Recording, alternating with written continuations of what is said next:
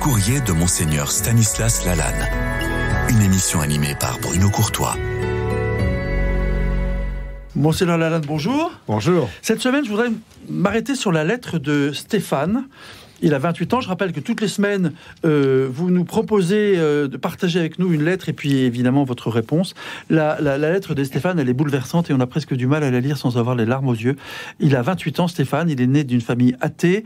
Et puis un jour, euh, il déambule dans les rues de Paris. Il rencontre un sans-abri et il dit J'ai alors senti. D'abord, il a vu que chez ce sans-abri, il n'y a plus aucune flamme de, d'espoir, d'amour, de, d'étincelle. Et il dit J'ai alors senti un amour profond pur qui m'inondait complètement. Vous voyez, devant ce, ce, ce, ce sans-abri, qui, était, qui on, l'imagine était euh, par terre, sur le trottoir, ou faisait la manche euh, dans le métro, il a senti cet amour profond, et alors là, ça a été comme une révélation.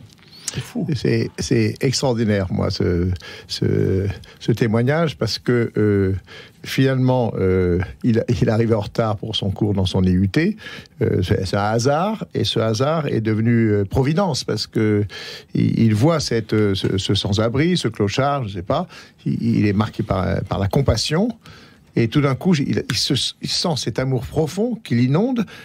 Et ça a duré qu'une fraction de seconde, il écrit. Qu'une fraction de seconde. C'était suffisant pour me faire pousser la porte de la première paroisse non et, et à partir de, ce moment-là, pardon, je savais désormais que euh, je voulais donner, je voulais donner, je voulais donner ma vie. Alors, ce qui me, ce qui me frappe beaucoup dans ce, dans ce témoignage, c'est que ce sans-abri, ce clochard qui était dans la rue, il n'imagine pas, il ne peut pas imaginer que, que c'est grâce à lui, a été le, que c'est grâce à lui qu'il a été le, le déclic qui a permis à, à, à, ses fans de ben, d'entrer dans la d'entrer dans, dans, dans, la foi. Qu'est-ce qu'on a comme réponse à apporter? Finalement, pas tellement. C'est un témoignage. C'est moi, je pense pas qu'il y a pas, je pense pas qu'il y ait de... de réponse à donner. Simplement, euh, moi, je me dis, ben, finalement, euh, il y a beaucoup de personnes qui permettent à d'autres d'entrer dans, dans la foi chrétienne, de découvrir le Christ et ils savent même pas qu'ils ont été l'intermédiaire ou euh, que c'est grâce à, telle personne que euh, alors c'est ce regard a, a, a, bousculé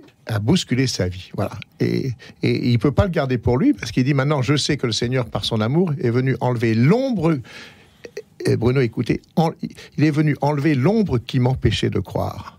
Cette formule est, magnifique et elle dit exactement le cœur de sa conversion quelle histoire hein c'est fou. En tout cas, merci Stéphane parce que c'est un, un, témoignage assez bouleversant qui n'apporte pas forcément de, de, commentaires.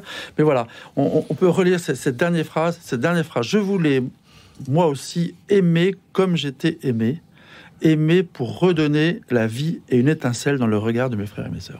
Ah Donc, ouais. euh, ah bah, il, nous, il, il, nous, il, nous, indique le chemin. Hein. Voilà, merci, mmh. merci Stéphane, 28 ans, et en tout cas, voilà, qu'il soit dans le cœur de, de tous nos auditeurs. Merci, Monsieur Lalanne. Merci.